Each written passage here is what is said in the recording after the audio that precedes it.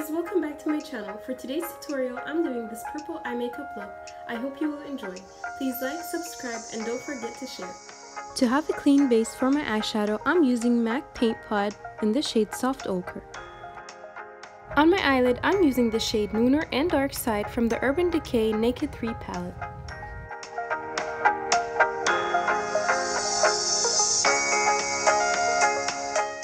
Now I'm using the two purple tones from the Huda Beauty Electric Obsession palette on my eyelid.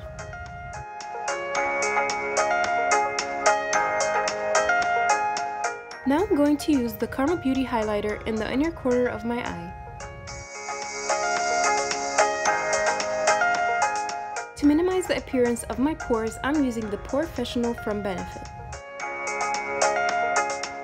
For the foundation, I'm using the Anastasia Beverly Hills Stick Foundation in the shade Golden.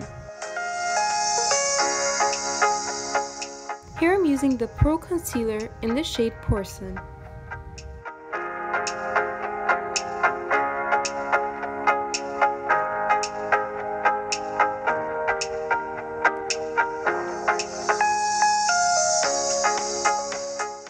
Using the two colors Cinnamon and Chocolate from the Anastasia Beverly Hills Contouring Kit to contour my face.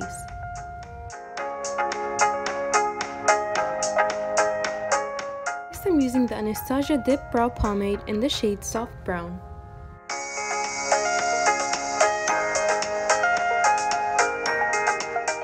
For the blush, I'm using the Tarte blush in the shade Party.